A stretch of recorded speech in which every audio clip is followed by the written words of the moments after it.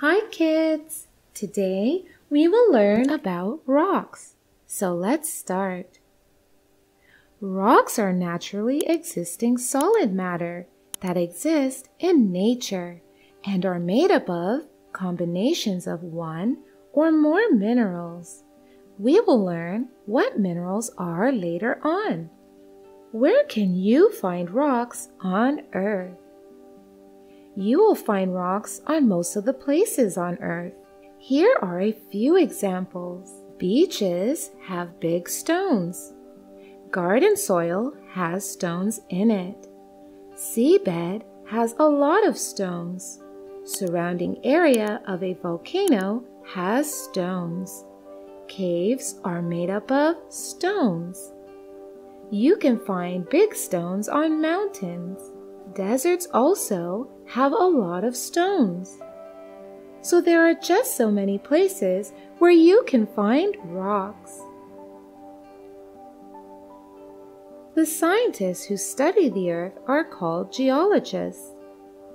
Geologists study about rocks and minerals as rocks and minerals are the best examples to understand the evolution of our earth. Rocks tell geologists about what happened on Earth millions of years ago. Rocks and minerals also tell about what is there at the center of the Earth. Rocks also tell us about the possible locations of volcanoes and which places can be centers of earthquakes.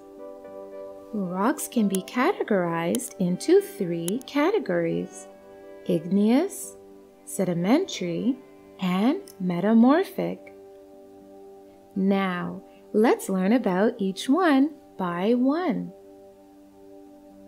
Igneous rocks. Igneous rocks are of two types, intrusive igneous rocks and extrusive igneous rocks. Let's first learn what are intrusive igneous rocks. There is magma that is hot molten matter present deep inside the Earth's surface. Sometimes this molten matter cools down, hardens, and forms rocks. These rocks formed inside the Earth's surface are called intrusive igneous rocks. Igneous rocks are made up of large crystals because the cooling of molten matter occurs at a slow rate below the Earth's surface. This is why large crystals are formed in intrusive igneous rocks. Examples of intrusive igneous rocks are diorite, gabbro, granite, pegmatite, and peridotite. Lava when this molten matter or magma comes out of the Earth's surface by rupturing it, it's known as lava.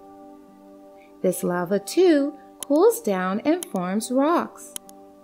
And rocks formed by cooling down of lava outside the Earth's surface are called extrusive igneous rocks. Extrusive igneous rocks have smaller crystals and are shinier.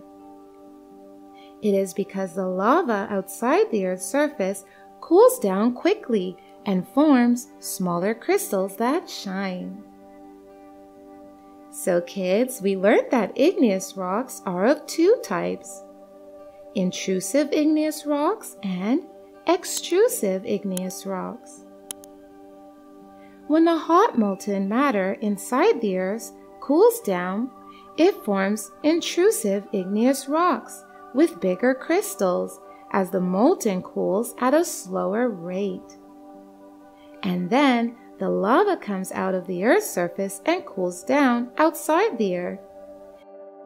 It forms rocks with shinier and smaller crystals, and they are known as extrusive igneous rocks.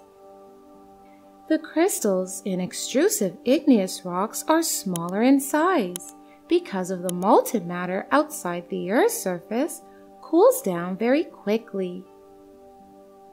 Now let's learn about another type of rock known as sedimentary rocks.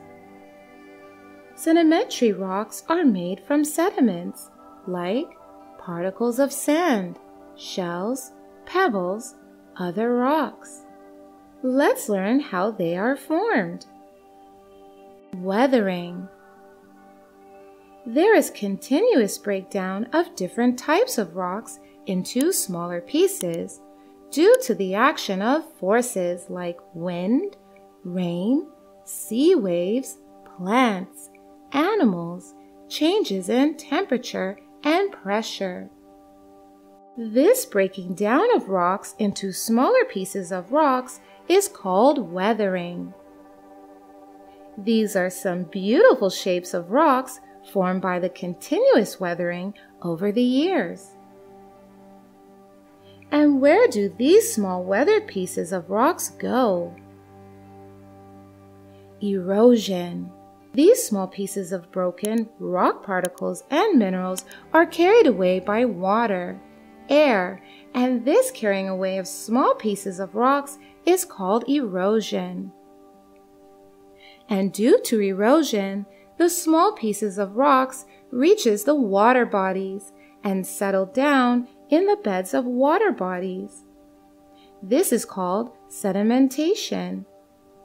And many layers of sediment accumulate over the passage of years and under the pressure of seawater. A process called compaction occurs, and the layers of sediments are hardened and they form sedimentary rocks. Organic matter, that is, dead and decayed plants and animals get trapped into these layers and form fossils. Sedimentary rocks are made up of layers called strata. The layer at the bottom is the oldest one, and the topmost layer is the newest one. There are six main types of sedimentary rocks, including conglomerate, sandstone, shale, limestone, gypsum, and breccia. Now let's learn another type of rocks called the metamorphic rocks. Sometimes the sedimentary rocks and igneous rocks are trapped at a great depth beneath the Earth's surface. And there is very high temperature and pressure. And this extreme pressure and temperature make the rocks undergo physical and chemical changes called metamorphosis. And sedimentary or igneous rocks change to metamorphic rocks. These rocks have layers and may also shine like crystals. Examples of metamorphic rocks include gneisses and marble. So kids, Today we learned about different types of rocks. In our next assignment, we will learn about minerals. Now go ahead and take a quiz to learn more. Bye-bye! Thank you so much for watching. Don't forget to like, comment, and share this video. And if you want to see more fun videos, you can hit that subscribe button. You can also follow us on Facebook and Instagram for more content. Bye-bye!